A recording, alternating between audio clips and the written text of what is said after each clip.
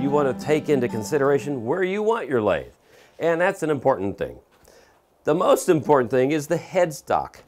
If you're going to put this up against the wall, you want to make sure that this wonderful little thing called the knockout bar can get into here and go into the headstock because it knocks out all the centers and things that you put in on this end. If this doesn't go in and can't go in, you're in a lot of trouble.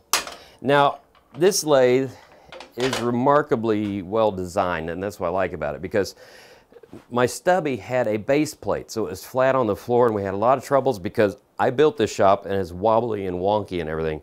But if you look at this, it has four legs that are individually adjusted.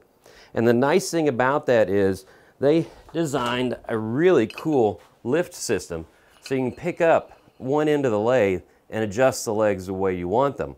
The other thing is, is that even though you can get all four points touching the floor, you still might get some rock in the lathe.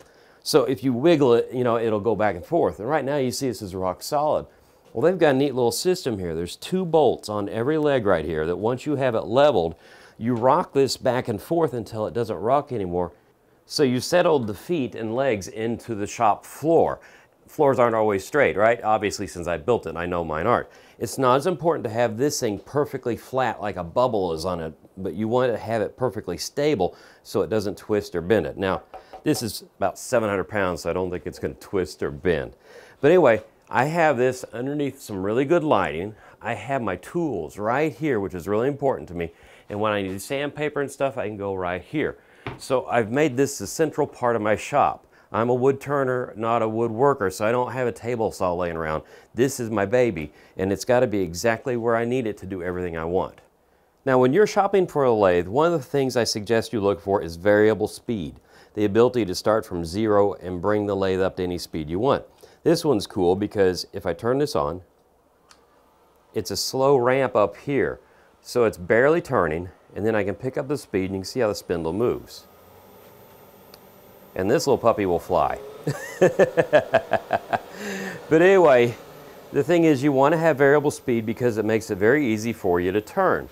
The other thing is, is that the shop, the shop you have needs to have a lathe that fits it. So you might not start right off with something this large. You might start off with something smaller.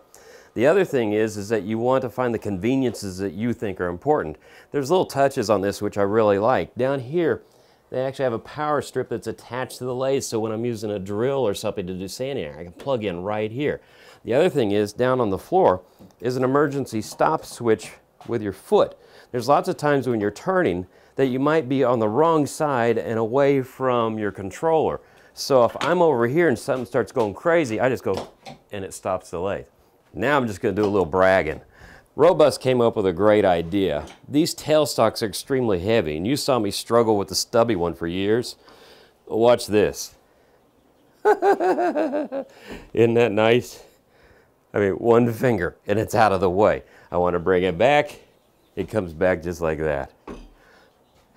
I love that. I'm going to be one happy camper having that.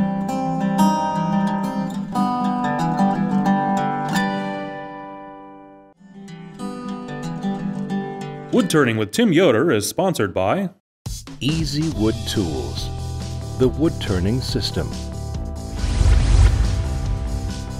Visit easywoodtools.com.